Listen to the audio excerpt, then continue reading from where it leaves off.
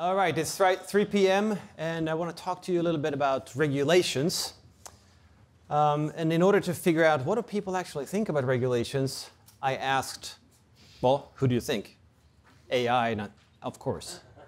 So I asked AI, what does regulation actually mean? What is, the, what is the first thing that comes to artificial mind uh, when you, you hear regulations? This is what it thought of. So apparently it's more like a conference meeting or something like that. Uh, you're sitting around a table with pen and paper and trying to make some, yeah, well, solving a problem or something like that, right? Well, if you look carefully, you can see, let's see here. Oh, you can't. The guy in the, uh, in, in the middle on the right end of it, can you see? That lady with the beard? Oh, yeah. Okay. So it, it's politically correct regulation. But when, when you ask a question like this, of course, you don't get only one image, you get four. This was the least weird one. So here's another one. Now, what the heck is this? And what does it tell us about regulations? Well, I wish I knew, because I don't. And why is that guy in there? Well, anyway, so AI cannot help us with regulations, but AI, of course, is, is relevant for regulations because the government is trying to regulate AI quite a bit. And of course, they're using AI to regulate also what we know and what we understand and the information that we have, right? But what do people actually believe about regulations? Well, they have some cer certain beliefs, and you probably um, experienced this when talking to people about regulations and I'm guessing that most of you have argued for abolishing some regulation. And then you have come across these views. For instance, that, well, regulations, they're there to overcome inefficiencies in the economy. So anyone who is sort of an economist would, would make this claim, right? That with regulations, you can overcome the problems in, in the marketplace. And of course, there are market failures. So leaving it to people themselves to trade with each other that Obviously, that can't work. So this, the government needs to step in because politicians can make it work for them. So solving market failures is another argument for regulations. Uh, a third one would be to solve the public goods problem. And public goods, of course, those goods that are not rivalrous and, and so forth, right? So like uh, uh, radio waves, for instance, and TV broadcasting the way it was before. You can't really restrict who consumes it. So why would you produce it? So there will be underproduction, and therefore the government needs to step in and either take over it or subsidize it, because the market can't figure it out itself. And of course, you have the biggest problem is that in the marketplace, people are greedy, and I think you all recall a couple of years ago, or the, the past couple of years, we've learned that inflation is due to greed, and regulation can, of course, solve this problem as can solve any problem. But these are beliefs, right? The, the question is, okay, what are the misconceptions of people that actually have more than beliefs, have some sort of knowledge about regulations? Well, the misconceptions are on both sides of the equation in a sense. That's why you have the seesaw there. One is the effectiveness that you're assuming very often when you're arguing for a regulation that look at this, the problem, it's right there, it's apparent, you can see it. If we could just regulate, that would be a solution to the problem, right? But then you're assuming that the regulation is perfect, that the regulation is the solution, and you're not really seeing the problem with it. So you're committing the nirvana fallacy, as Harold Demsetz put it, that you're comparing the real world with something that you assume is just perfect, which is sort of not fair, right?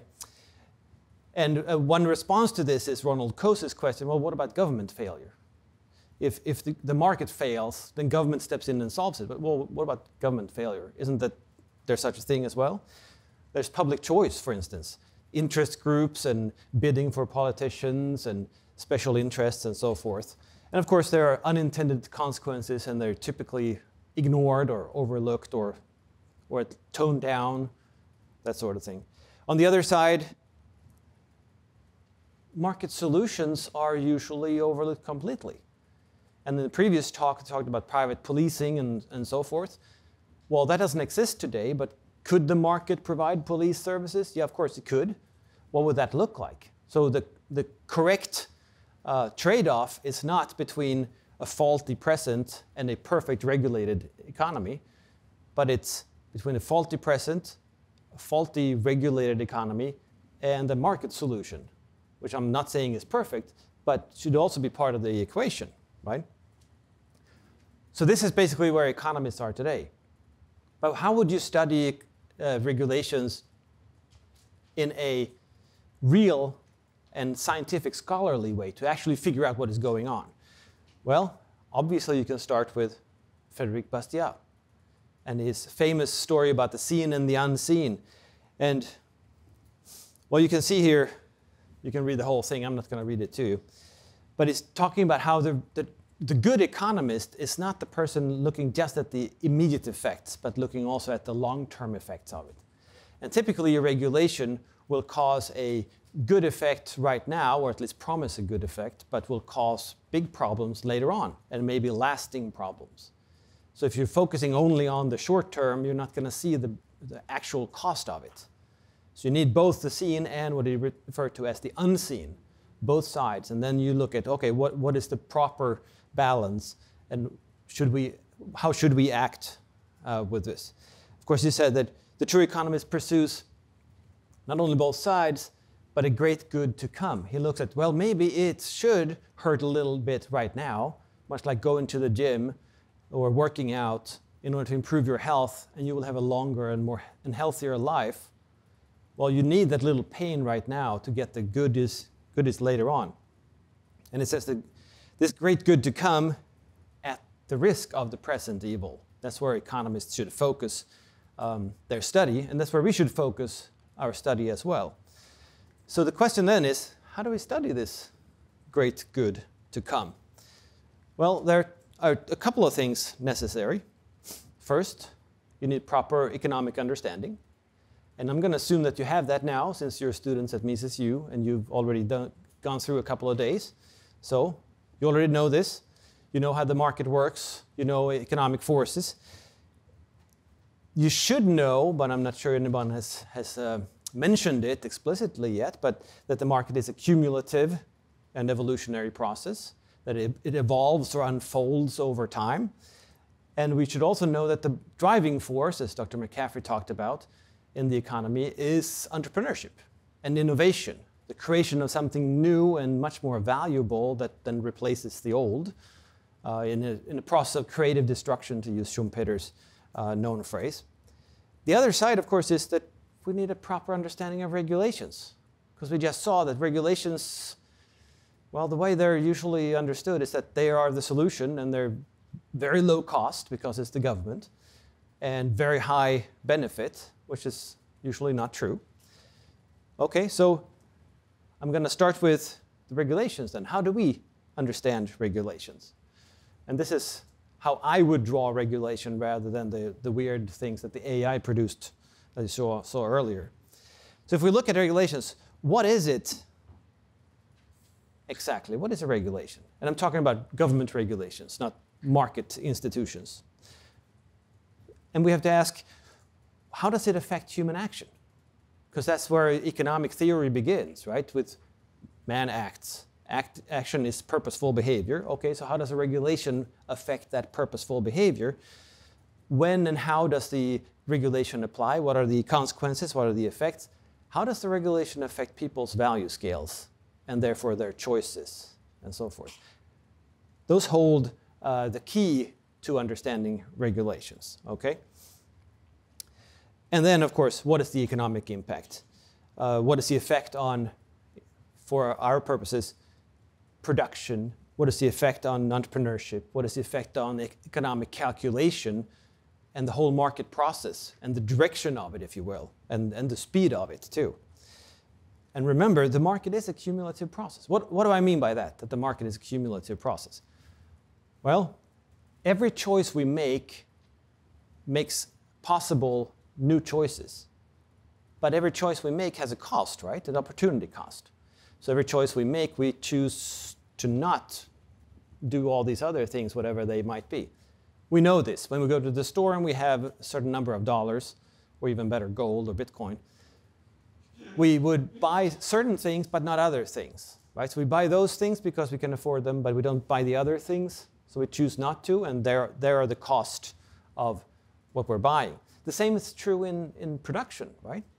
That a producer uses resources in order to produce certain goods and services, to invest in certain lines of production and so forth, and not others.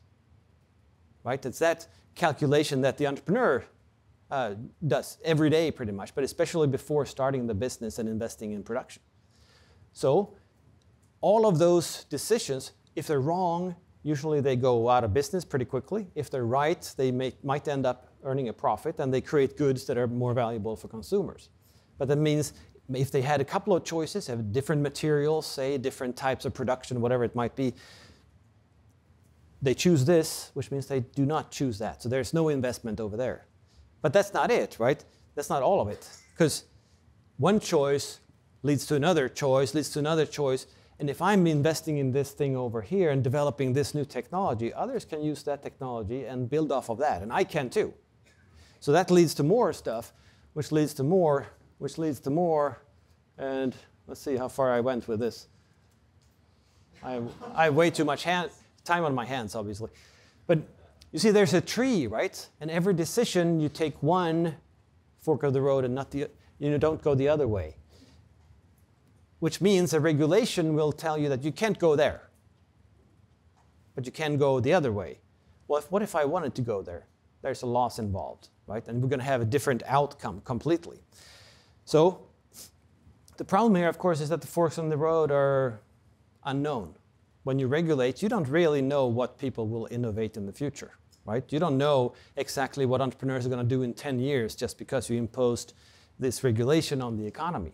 So even if the regulation does not cause a change right now, it might hinder entrepreneurs in the future, right? You just can't tell. And entrepreneurs always try to imagine how to best serve consumers because that's where the profit is, right? That's how they create most value. Okay, so if there are regulations involved, well, that takes some options out of the calculation, out of the um, out of the equation. You can't choose those anymore, so you pick something else which might be of lesser value. And of course, entrepreneurs, they look around and see what have others done, and they build off of those ideas and what was successful. They can copy, but copy, if I copy what is already being done, I'm going to compete with the people who are already doing it. Also, when I'm done and can offer my product, they might have already improved theirs. So I should uh, look at what is being done, but build off of that and add my own sort of flavor to it. So in this case, what if you would impose a regulation here? This is the GDP um, growth uh, throughout the past, what is that, 2,000 years. Nothing really happened, and then you had the great divergence where suddenly the West took off, something happened.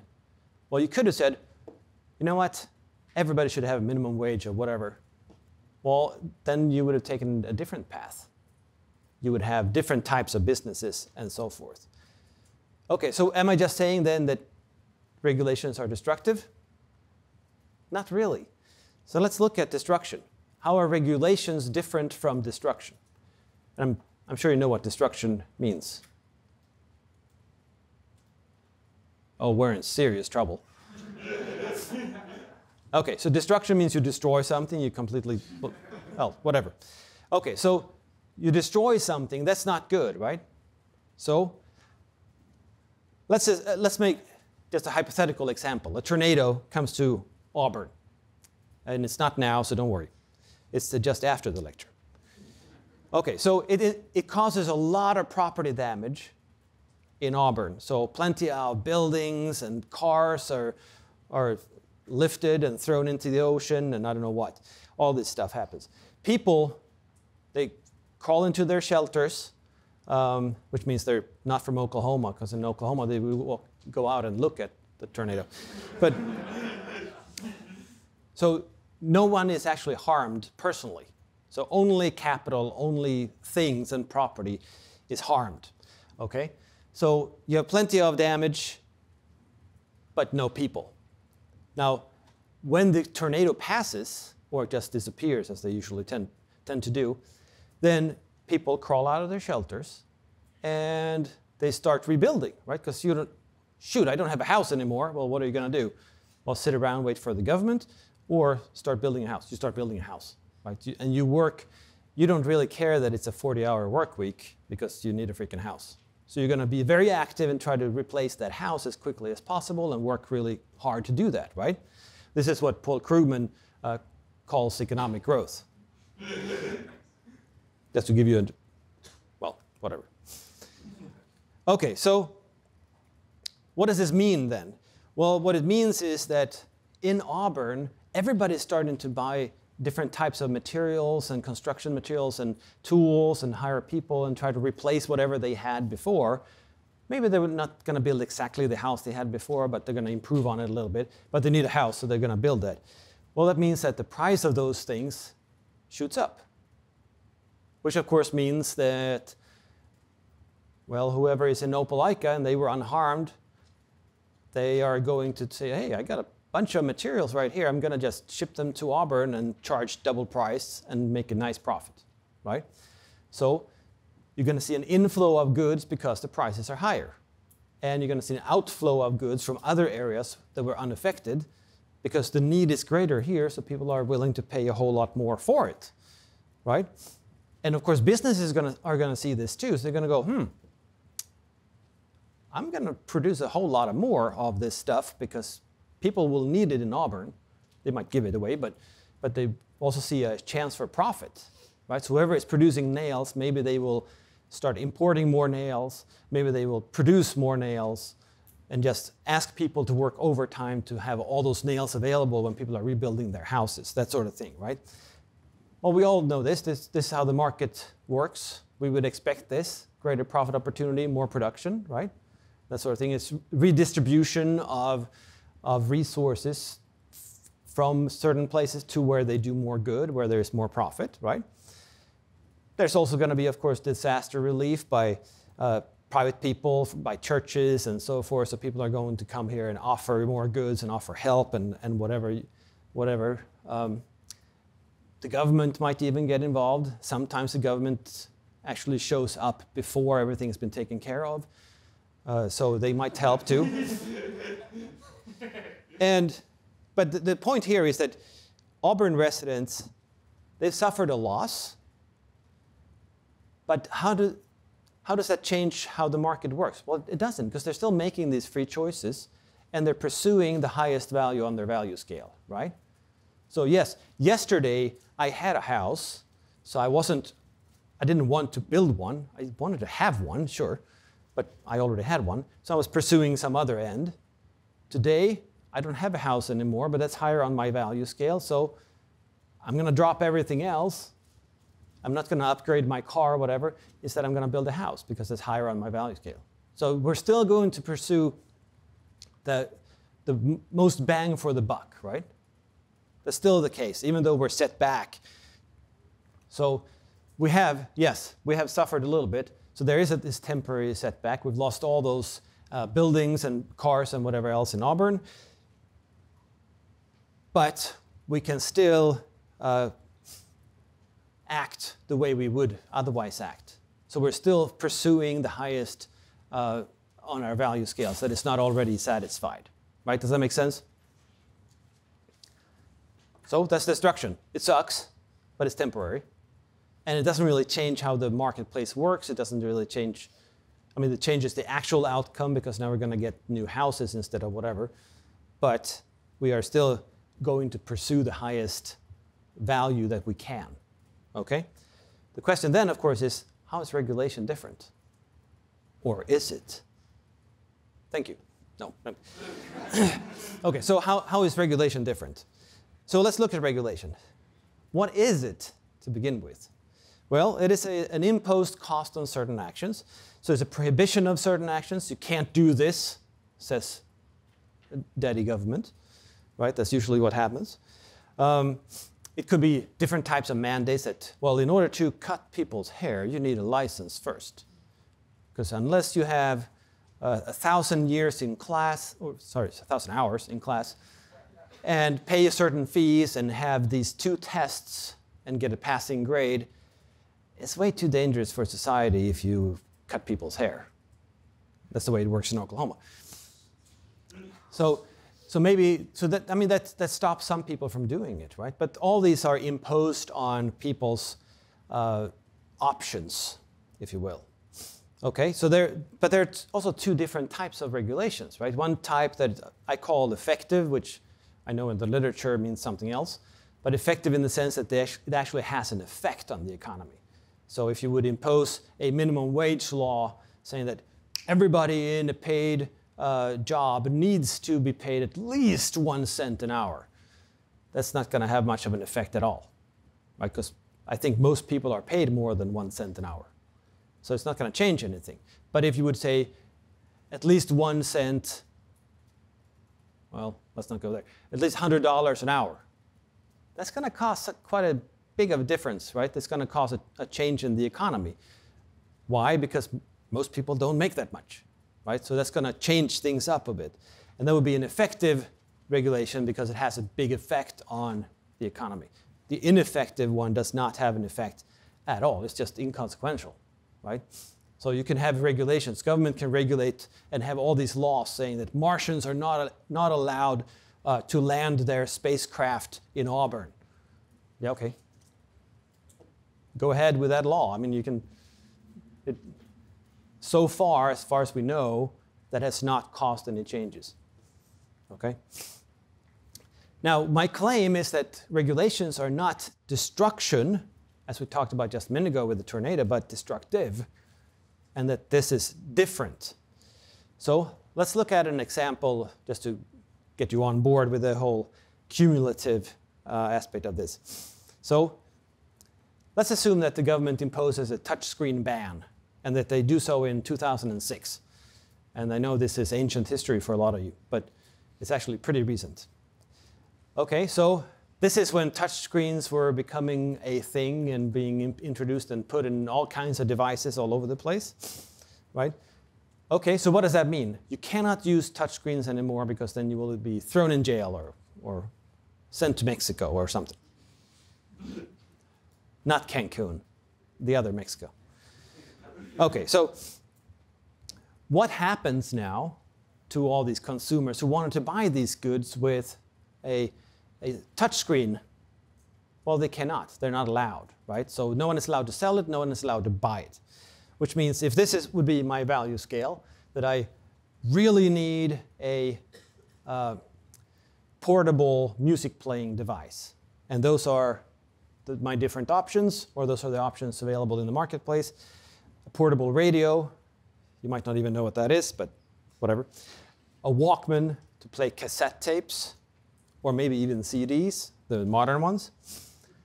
And then the iPod Touch, which has a touch screen. Just well, if there's no regulation like this, then of course I would just buy the one with the touchscreen on it, the iPod Touch, because that's highest on my value scale right? And the economy produces all three, let's say. So I'll just buy whatever is of the highest value for me.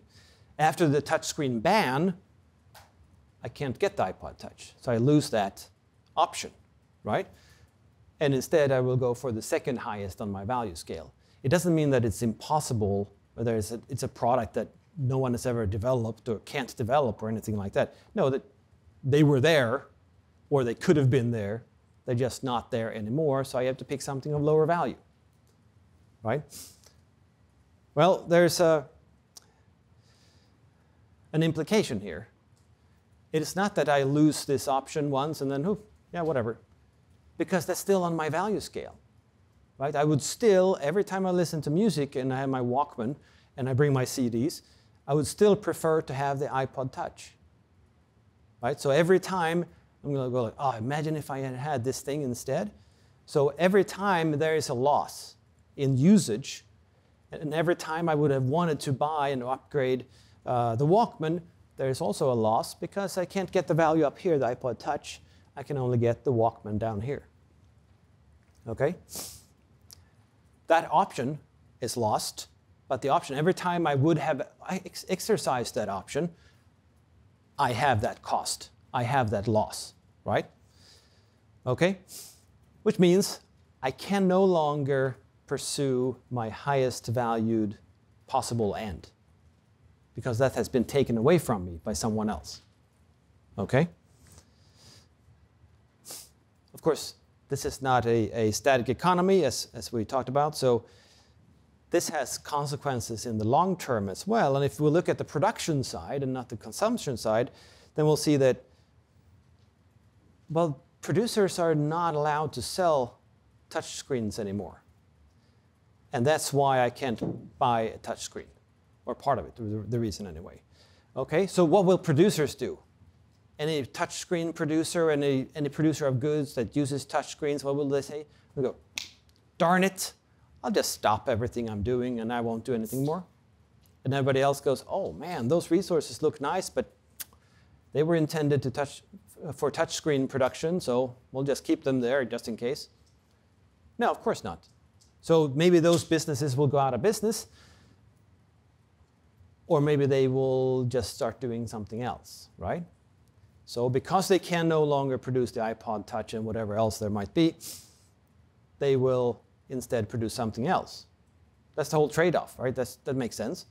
The problem here is that these entrepreneurs would have thought that, well, something with a touchscreen would uh, satisfy consumers more, there would be more value here, but instead I'm producing this other thing because that's the highest value I'm allowed to produce. I could produce this higher value, I'm just not allowed, which of course means underproduction of the higher value and relative overproduction of the lower value. Now that kind of sucks, doesn't it? Okay, well what this means is that the whole production structure is distorted, right? Because anything that would have had a touch screen, that would have used a touch screen, will no longer see an investment and those values will not be realized anymore. Instead, you will have investments elsewhere, so you will have increased productivity and increased production of goods that are lesser value. Correct? Correct? Correct? Okay, he's on board. So, so if I'm wrong, it's his fault. All right, so Actually, there should be no, no big surprises so far, right? Because this is fairly straightforward analysis, right? So this, any regulation will distort the production structure. Um, it will cause value losses. Any effective regulation will cause the outcome of the market, of market production to be of lesser value because entrepreneurs will just pursue something that they think is of lesser value. This is the seen and the unseen, right? So nothing strange going on. Now I want to introduce what I call the unrealized, which is an addition to the seen and the unseen. Now remember what we said about the market uh, and economy, the market process being cumulative. Well, because it's cumulative. Okay? And that means that, yes, entrepreneurs look at what other entrepreneurs are doing and they're taking those ideas and they're combining them perhaps in different ways. They're adding their own competencies and their own thoughts and ideas to them and producing something new. It also means that the producer of a certain thing will continue to update and improve what they're producing, right? So in this case, uh, this timeline is for Apple, as you might see. Okay, so the iPod production of that led eventually to the production of the iPhone, taking similar ideas but expanding them and putting other goods into it, right? That sort of thing, which led to producing the iPad, which is basically an iPhone without phone capabilities, but it's stretched out a little bit. Okay, and then, well, that's where we're at today, right? There's several generations of these things, but we don't know what is the next thing that they would innovate. But you can see that they build off of each other, right? And that's between companies as well. So it's, it's not only within the company. Okay, so This is the, what cumulative means. Now, what are the implications then of the touchscreen ban? Well, we wouldn't, wouldn't have this continued investment in any of these products using touchscreens, of course. That would not happen. Uh, any consumer wants that would be satisfied by goods using touch screens or any goods that would follow from the experience of using touchscreen types of goods. Say maybe there's a, a, uh, a type of device that doesn't actually have a screen, but the technology was developed based off of the touchscreen technology. Well, we wouldn't see that either because how would we get there, right? It was stopped in its tracks. Uh, it also means that all those competencies involved and all this knowledge that was developed in this process will never come to be because how would you know how to produce a really, uh, a really advanced and efficient touch screen or other type of, say, projection technology that would, would, would arise due to producing these things if you ne actually never produce these things. So that wouldn't happen. It would also mean that jobs would not be created here, right? So you wouldn't have anything called a touchscreen engineer. I don't know if that is a thing, but let's say it is a thing. That would never happen. Uh, maybe Apple would not uh, be a big firm uh, as it is today. Some, someone else would be producing something. Maybe Sony would be really big with a new type of Walkman. And we would all be playing CDs still. Who knows? I mean, we don't really know what would happen, right? Uh, but the types of jobs that, were, that are developed in line with this type of innovation would never happen for the simple reason that we stopped this development in its tracks by outlawing, prohibiting touchscreens. Okay? Well, instead, of course, these investments will be made elsewhere, so we would have different jobs in other industries. And isn't that a good thing? Well, jobs are good, I guess, right? But from the perspective of the economist, we're producing things of lesser value and we're developing competencies and jobs and careers and education of future uh, uh, workforce in these competencies that are, are expected to produce lesser value than we otherwise would have produced. That's not necessarily a boon, right? That's something bad. So yes, there will be growth there too, but it will be lower.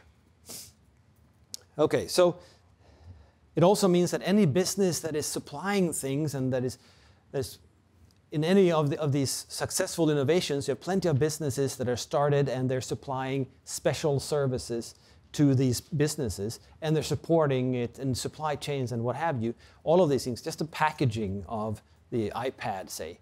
There's pe people specializing in this, both in, in the design of it and the materials used and all this stuff. Wouldn't happen either. All of those things will instead happen somewhere else, where it is expected by entrepreneurs that they will be of lesser value. Okay, so this means that we have a different thing to talk about here, right? So this is an issue long term that is not the seen or the unseen. It's not the immediate trade off, it is rather the direction of the whole market process. Right? So it unfolds not in this direction where it would have otherwise, but instead it unfolds in this direction where the investments are made. Lower value, right?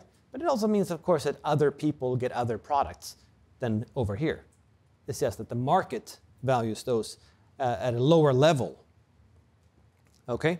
So we're going to get different types of jobs, we're going to get different businesses, we're going to get different everything pretty much.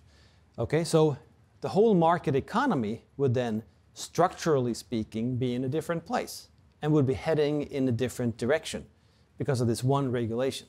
This is this strange hypothetical society where everything is a free market except for this ban on, on touchscreens. Right? So all those options that would have been available are not available anymore. Instead, there are other options that are necessarily of lower value that will be available which means, of course, that the whole economy is on a lower trajectory, right? So you think of the economy as, as a process that moves in a certain direction towards value creation, because entrepreneurs, they make money off of creating value for consumers, right? So we're taking off and we're following that path. Some, some entrepreneurs are weeded out because they don't do very well and they, they got a wrong idea and whatever. Some are successful. And their ideas are what the economy and other entrepreneurs are building on.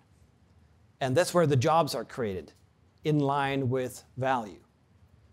Well, with this regulation, nah, we're not going to have that. Instead, we're going in this direction, which of course is of lower value because otherwise entrepreneurs would have chosen it anyway, right? And then we're going to have this cumulative process eh, in that direction instead. So it's going to be lower value, less prosperity for people in general. Different people are going to be rich, of course, than otherwise, but they're going to be less rich, most likely, at least overall speaking. So, what is the effect then? The effect of this is on entrepreneurs themselves is that they can't pursue what they thought was most valuable, which would be typically, we would think of it as the most profitable goods. But Of course, many entrepreneurs start businesses that are not only in line with the greatest profit, but also with where they think that they will make a difference. Right? So it's not only about profit itself, it's about social change and caring for the poor and whatever else it might be that entrepreneurs are pursuing. If there is a regulation in place that makes that impossible, they're going to have to do something else. Maybe some other entrepreneur will have to do it instead. Okay? So they can't do what they thought was best for the economy and therefore for themselves. Uh, they cannot make these investments with a higher rate of return, however you choose to uh, measure the rate of return. Instead, they, they or someone else will invest elsewhere, right? Which will facilitate then the next generation entrepreneurs, entrepreneurs to invest based off of whatever happens instead, right? That's the problem that policymakers have with regulations all the time. They stop this, but they're not telling entrepreneurs what they should do instead because they can't figure that out, of course. So they will get something else instead. But what? Well, we don't know. That's why we have unintended consequences and the whole economy will build off of this unintended consequence and, and sort of continue down that road instead. Well, you can see where this is going, right? One little regulation, well, that could affect the whole damn marketplace, the whole economy. So, if the whole economy is on a slightly lower trajectory, remember the graph from before? Slightly lower trajectory, that might mean, might mean the death of millions of people. It might mean that we're all really poor which of course, without regulations, compared to that, we are really poor. Okay, so this also means then, of course, that we all get a, low, very, a lower standard of living overall, and we can satisfy different ones than we otherwise would have been able to, and different ones than we would have been would have wanted to satisfy. So, yes, this means fewer and worse options for consumers, which means just goods and services. That's what we think about immediately as economists. But that's not all, and that's not the most important thing either, right? Because it also means jobs. The jobs are going to be created where the investments are, not where the investments didn't take place, right? So the new jobs, and new careers, the new knowledge generated, all of this stuff is going to be elsewhere, and it's not going to be aligned with where the greatest consumer value is. It's going to be aligned with the second highest if there's one regulation, the third highest if there are two, and so forth, right? If those regulations are effective, of course, that is. Okay, so to sum up then, and this is the, the book that I wrote on, on this concept. Um, to sum up, any regulation has a long term effect on the economy, its trajectory, and what is developed, what is uh, created and how it is created, by whom it's created, what jobs are created, what incomes people earn because they're creating lesser value, so the incomes are going to be lower, right? All of this are caused by regulation. Okay, so yes, we can call it just misaligned production structure. It's a very dry way of saying that we're screwed. Okay? But the effects on, on our general well being and prosperity is much, much greater than we usually think of, right? Because if you just look at the seen and the unseen, well, then yes, you will see costs of it, but you're never measuring the, the trajectory of the economy. You're never measuring, well, what is the actual cost of investing in Walkmans instead of iPod touches? How would we know? Well, we can't know, of course, but we can guess. Let's say in a society where there are plenty of regulations, maybe we would be on a really low trajectory compared to where we otherwise would be. And then well, you can, you can uh, yourself go and uh, uh, count the number of regulations that might have an effect on the economy in our society today and how long they have been there in place. And then you can think about, hmm, I wonder if this might affect one entrepreneur's actions. And if it does, it will put us on a lower trajectory. And then just count them together and see, hmm, I wonder if we're losing anything. The answer would be hell yes. okay. So, what I want you to think about and the sort of takeaway from this is that, yeah, destruction is bad. Krugman would say it's not, but destruction is bad, but it's not nearly as bad as regulating. Because the effects of regulation, they're destructive over and over and over again, and the error is cemented because of the investments elsewhere. Right? We're on a different trajectory, doing different things in different ways, producing different types of goods. And it's not the case that if we just abolish this regulation over here, then all the entrepreneurs are going to go, oh, shoot, look at that. And they're just going to shut down their factories over here and instead start producing this. No, because you can't roll back time. The market process is cumulative. It builds off of what is. So if you abolish the regulations, yeah, that's going to be better, but you're going to have a different result than if you'd never had a regulation. Okay? So destruction is, comparatively speaking, it's awesome. Okay, and one way of phrasing this is, of course, that even libertarians have no freaking clue how destructive regulations are. Because if you think about them in this way, which is basically just following human action and what is the effect of, of prohibiting a certain option that actors might have, producers or consumers, well, you know, then you get to this conclusion and you realize that, holy smokes, this is really, really destructive. And this forces us to be poor for just a few more millennia. That sort of thing. Okay? So even, regula- even libertarians arguing against regulation, they don't quite get how really bad it is. Okay? So that's the takeaway.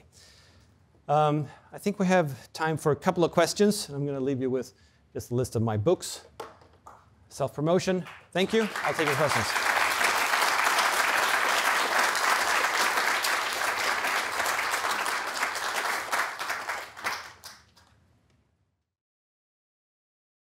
Your thoughts on regulations pertaining to the environment? Same as any regulation. Uh, why would it be different? I mean, I, I, understand the question. I mean, my, my answer was sort of tongue in cheek. But it, it, it is the same for the simple reason that most of the destruction of the environment is due to government uh, accepting it, approving of it, or even subsidizing it, and the lack of property rights. Right? So if the alternative is a, a completely free market and a free society, then environmental protections wouldn't be a thing, really. And you would have tort law. So if it would affect your property, you would just sue the, the balls off of that person. Right? So it, it's not a big issue. Uh, it's a big issue today because the state created it.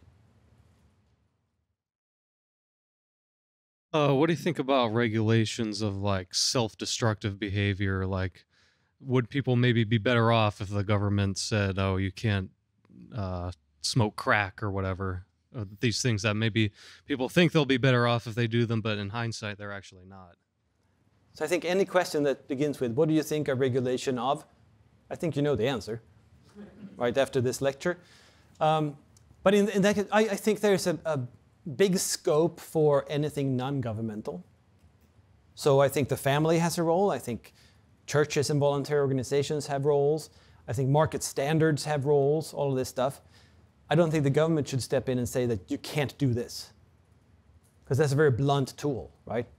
And in all of those self-destructive behavior, I mean, it's, a, it, it's really circumstantial. And it's not something that uh, a few hundred idiots on, on Capitol Hill can make just write it down a rule and then that's it solves the problem, right? It's going to cause a lot of other problems. And of course, it, it opens up for public choice problems too, right? That, oh, let we should regulate self, self-destructive behavior.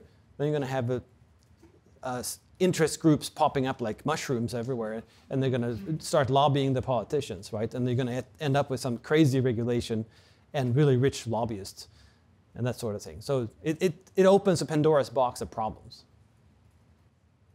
Oh.